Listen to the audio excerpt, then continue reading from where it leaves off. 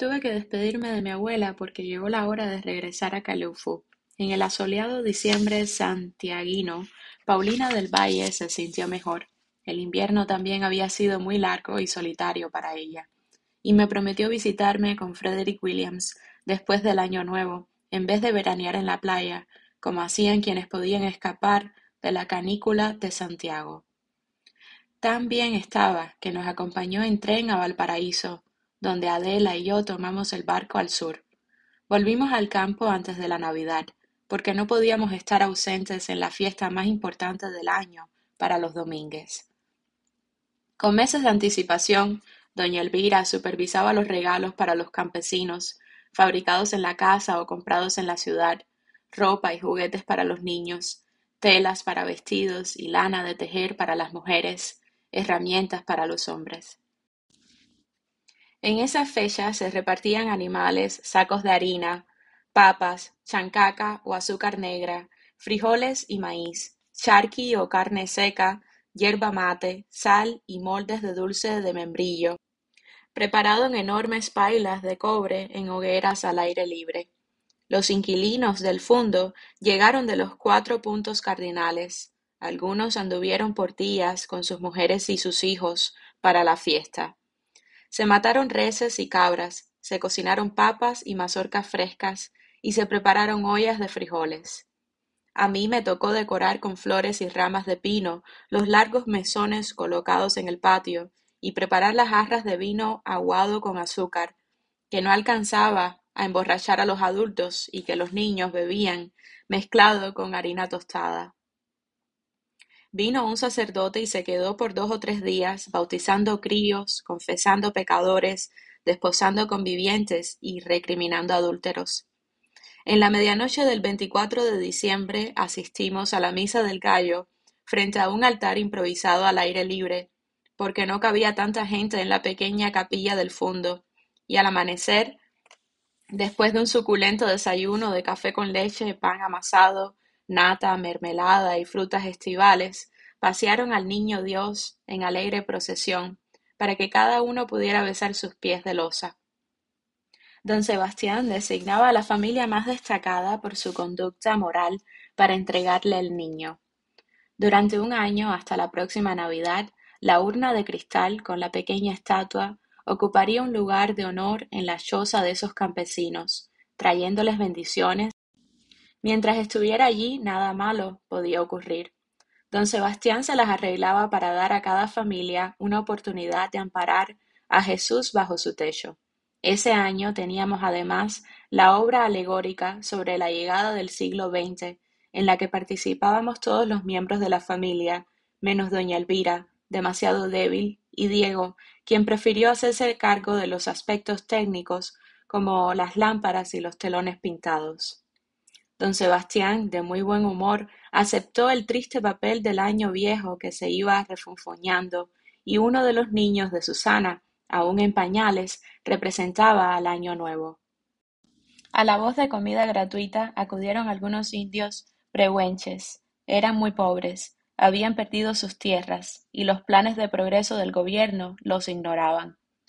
Pero por orgullo no llegaban con las manos vacías, Traían unas cuantas manzanas bajo las mantas, que nos ofrecieron cubiertas de sudor y mugre, un conejo muerto hediondo a carroña, y unas calabazas con muchi, un licor preparado con un fruto pequeño color violáceo, que mastican y escupen en caso mezclado con saliva. Luego lo dejan fermentar. El viejo cacique venía adelante con sus tres mujeres y sus perros, seguido por una veintena de miembros de su tribu. Los hombres no soltaban sus lanzas, y a pesar de cuatro siglos de abusos y derrotas, no habían perdido su aspecto fiero. Las mujeres nada tenían de tímidas, eran tan independientes y poderosas como los varones. Había una igualdad entre los sexos que Nibia del Valle hubiera aplaudido.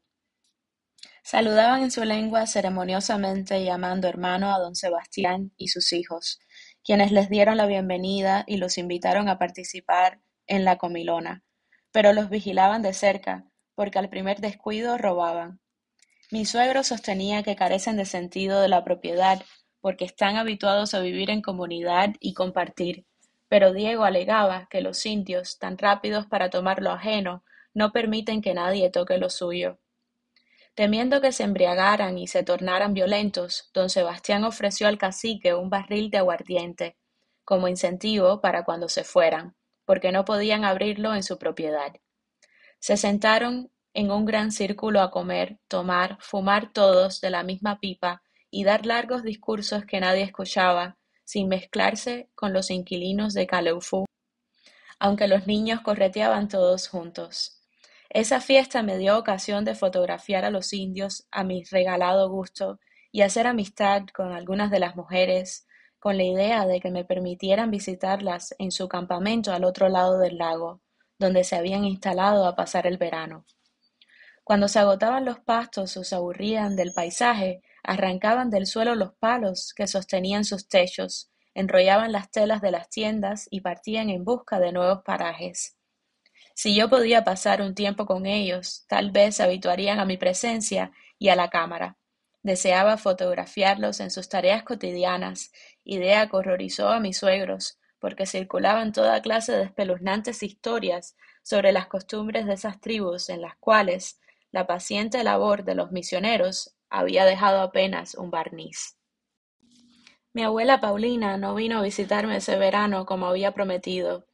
El viaje en tren o en barco era tolerable, pero el par de días en carreta, tirada por bueyes desde el puerto hasta el Caleufú, le dio miedo. Sus cartas semanales representaban mi principal contacto con el mundo exterior. A medida que pasaban las semanas, mi nostalgia iba creciendo. Me cambió el ánimo, me puse huraña, andaba más callada de lo habitual, arrastrando mi frustración como una pesada cola de novia. La soledad me acercó a mi suegra, esa mujer suave y discreta, totalmente dependiente de su marido, sin ideas propias, incapaz de lidiar con los esfuerzos mínimos de la existencia, pero que compensaba su falta de luces con una inmensa bondad. Mis silenciosas pataletas se deshacían en migajas en su presencia. Doña Elvira tenía la virtud de centrarme y de aplacar la ansiedad que a veces me estrangulaba. Esos meses del verano estuvimos ocupados de cosechas, animales recién nacidos y fabricación de conservas. El sol se ponía a las nueve de la noche y los días se hacían eternos. Para entonces la casa que mi suegro nos había construido a Diego y a mí estaba lista, sólida, fresca, hermosa, rodeada de corredores techados por los cuatro costados, olorosa barro fresco, madera recién cortada y albahaca, que los inquilinos plantaron a lo largo de los muros para alejar a la mala suerte y la brujería. Mis suegros nos dieron algunos muebles que habían estado en la familia por generaciones. El resto lo compró Diego en el pueblo sin preguntar mi opinión. En vez de la cama ancha donde habíamos dormido hasta entonces, compró dos catres de bronce y los colocó separados por una mesita. Después del almuerzo, la familia se recluía en sus habitaciones hasta las cinco de la tarde, en reposo obligado, porque se suponía que el calor paralizaba la digestión. Diego se tendía en una hamaca bajo el parrón a fumar durante un rato y después se iba al río a nadar. Le gustaba ir solo y las pocas veces que quise acompañarlo se molestó, de manera que no insistí. En vista de que no compartíamos esas horas de la siesta en la intimidad de nuestra pieza, yo las destinaba a leer o a trabajar en mi pequeño laboratorio fotográfico, porque no logré habituarme a dormir en la mitad del día. Diego nada me pedía, nada me preguntaba, demostraba apenas un interés de buena crianza por mis actividades o sentimientos.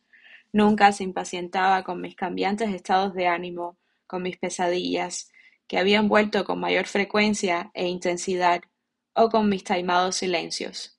Pasaban días sin, que intercambiáramos una palabra, pero él parecía no notarlo.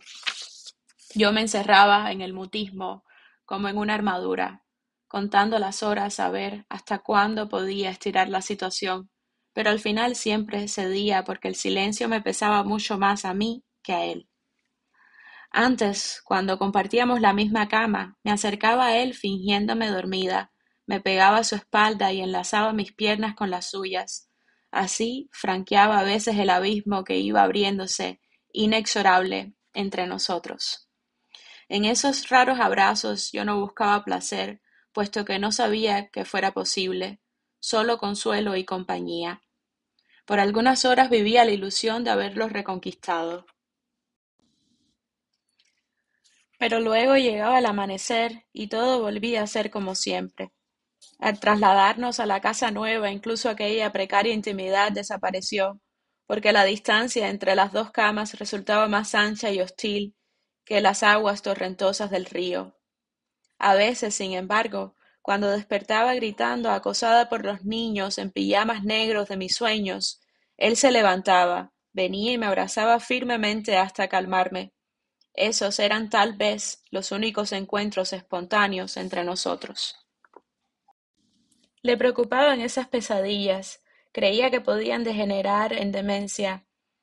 Por eso consiguió un frasco de opio y a veces me daba unas gotas disueltas en licor de naranja para ayudarme a dormir con sueños felices. Salvo las actividades compartidas con el resto de la familia, Diego y yo pasábamos muy poco tiempo juntos.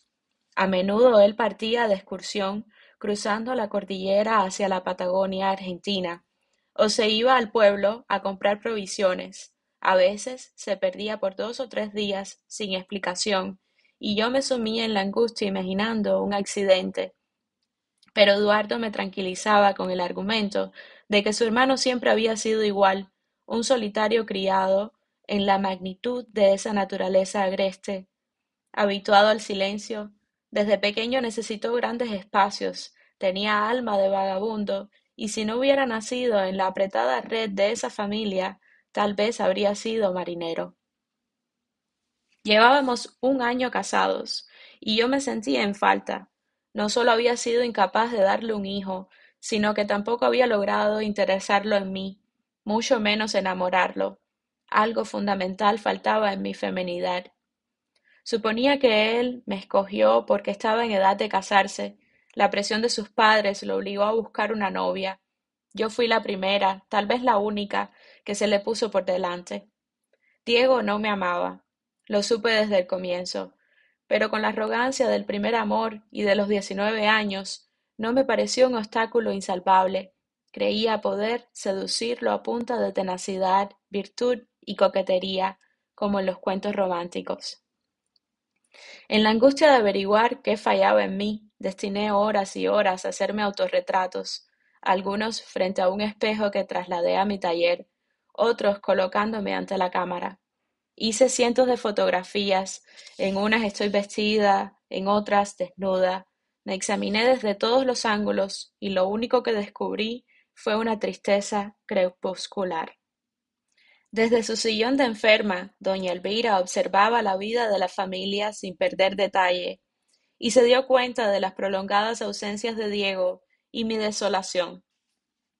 Sumó dos y dos y llegó a algunas conclusiones. Su delicadeza y la costumbre tan chilena de no hablar de sentimientos le impedían enfrentar el problema directamente, pero en las muchas horas que pasamos juntas y solas se fue produciendo un acercamiento íntimo entre las dos. Llegamos a ser como madre e hija. Así, discretamente y de poco a poco, me contó las dificultades de ella con su marido en los comienzos. Se había casado muy joven y no tuvo su primer hijo hasta cinco años más tarde, después de varias pérdidas que le dejaron el alma y el cuerpo maltrechos. En aquella época, Sebastián Domínguez carecía de madurez y sentido de responsabilidad para la vida matrimonial. Era impetuoso, parrandero y fornicador. Ella no usó esta palabra, por supuesto. No creo que la conociera. Doña Elvira se sentía aislada, muy lejos de su familia, sola y asustada, convencida de que su matrimonio había sido un terrible error del cual la única salida era la muerte.